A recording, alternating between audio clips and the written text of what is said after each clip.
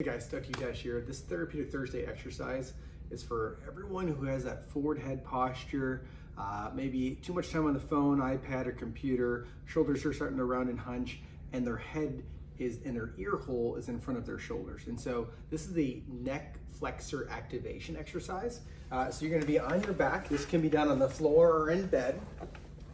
And pretty simple. You're just going to raise your head up and you're trying not to look up or trying not to look down, not you're tucking to your chin, ideally as level headed as possible.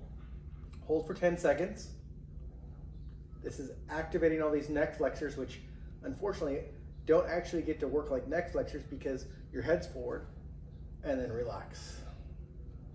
Relax another 10 seconds and then repeat. And you want to do this at least three times. Now you may want to start with five seconds because even though it looks kind of benign, every person I've worked with doing this, they start shaking it like 10 seconds, 15 seconds. So you can really see how weak those neck flexors are. Relax.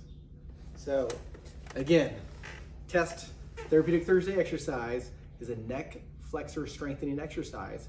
A lot of times as that head goes forward, these neck flexors don't get activated, they become weak, and it's just more and more and more of the same thing. So activate those neck flexors, get on your back, lift your head up, 10 seconds, and then relax three times.